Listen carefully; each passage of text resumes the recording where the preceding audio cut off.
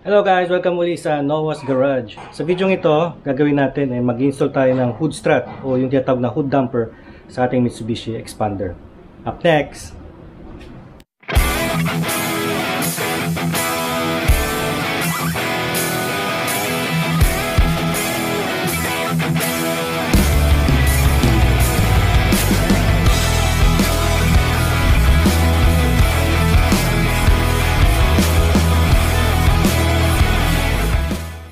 Alright guys, so ito yung ating uh, produkto. Uh, galing ito sa Lazada, no? So, saan nyo mabibili ito? Lalagay ko yung link sa ating description, okay? So, buksan natin kung anong laman niya.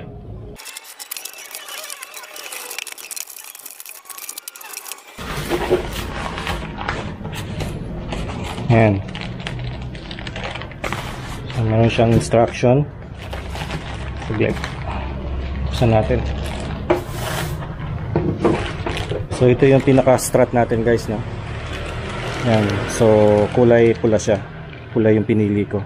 Sa tingin ko kasi mas babagay ito sa color white na expander. So buksan natin. Maganda yung packaging niya guys no.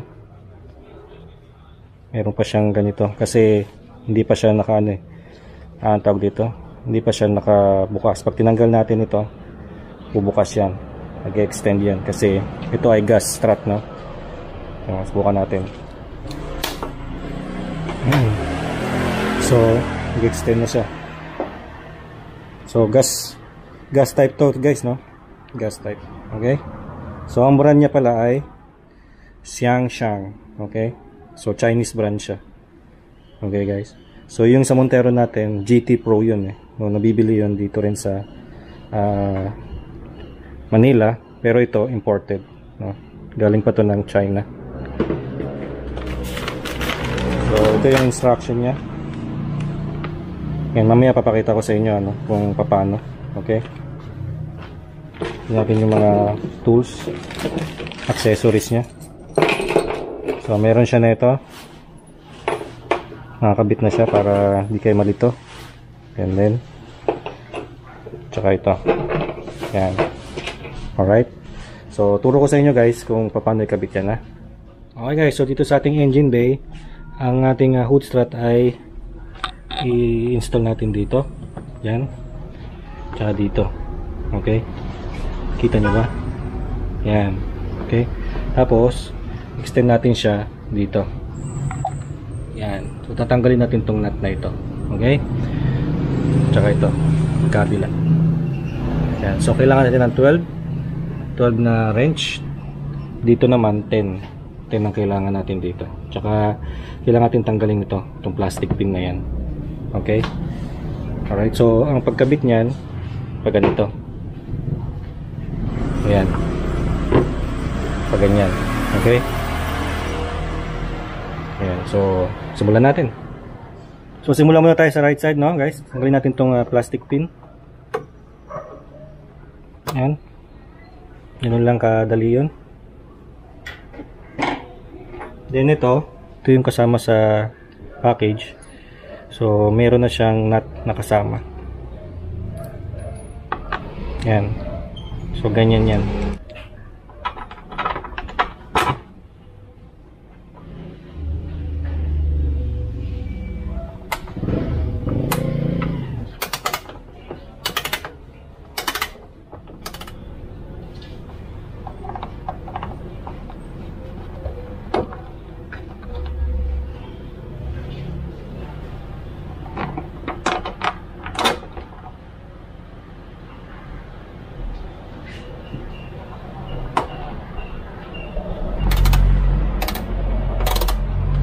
Dito pa rin tayo sa left side no? Tanggalin natin to itong nut na ito.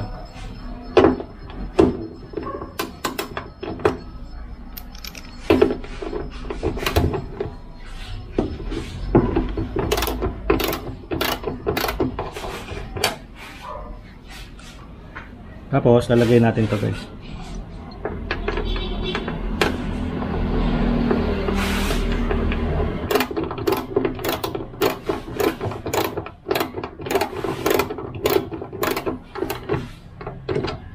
Ayan. Huwag nyo muna higpitan, no? Mamaya muna higpitan. Ganyan lang muna.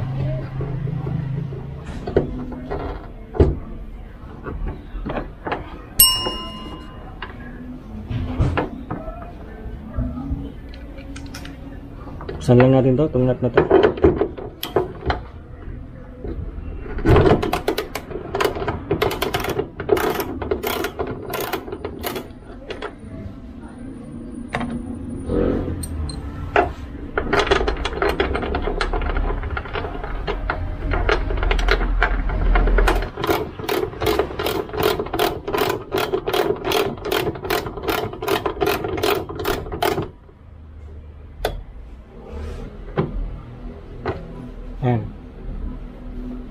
Na natin yung mga strap. So, ito yung strap natin guys. So, ang gagawin natin, itong uh, pinakabutas niya, makita nyo may butas yan, nakabit lang natin doon, pag ganyan. Okay? Yan, pag ganyan siya. So, ito, yan, dito naman. Okay? Diyan naman. May butas din yan. Diba? So, ganun lang. Pero, hindi yan basta-basta. So, kailangan natin ng assistant, no? Para mabukas yung hood, no? Ng mataas. Kasi mataas to, yun. Hindi kaya. Oh.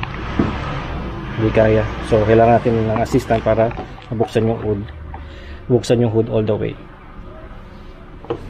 So, pindot lang yan dyan. Yan. So, kabit na siya. So, si twist nyo. Yan. So, baba natin konti. Wait lang, din nyo makita, no? Wait lang. Yan. So, baba natin konti. Yan.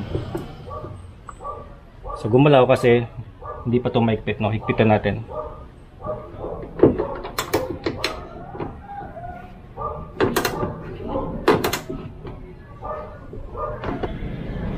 Yan, pag binitawan, yan, kaya na niyang i-hold yung hood natin. So, kabit natin yung isa. Yan. Yan. Lang kasimple. Tapos, doon.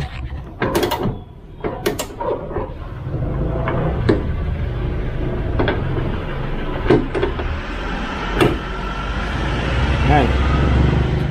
So, tanggalin na natin to. Itong ating stock na food dumper. Hindi dumper, strut na. So, yan. So, tinanggalin natin siya. So, kung gusto nyo bilhin to, kontakin nyo lang ako guys, no? kung gusto nyo bilhin yan. Alright. So, yan. Yan na yung ating hood strap. Hood dumper. So, try natin. Sara.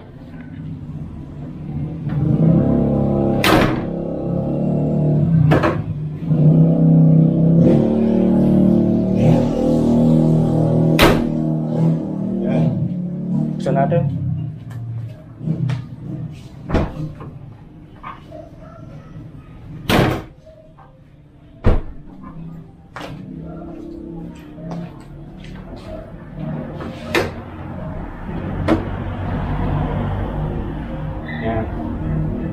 Ayos na siya guys, no? So, tulad nung sa GT Pro natin sa Mitsubishi Montero, medyo iangat nyo rin siya ng kaunti para bumukas siya ng tuloy-tuloy. So, ano lang naman talaga yun, kahit anong pilin yung hood strut, ganyan talaga yan.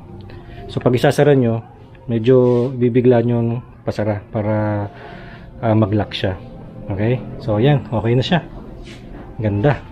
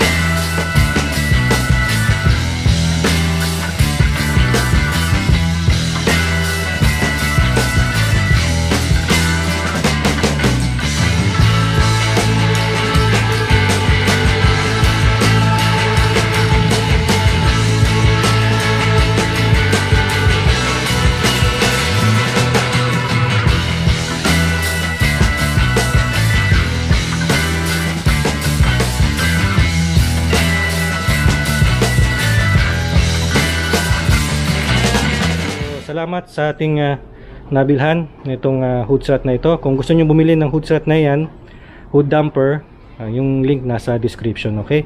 Para mabili nyo. Nasa Lazada lang yan guys, okay?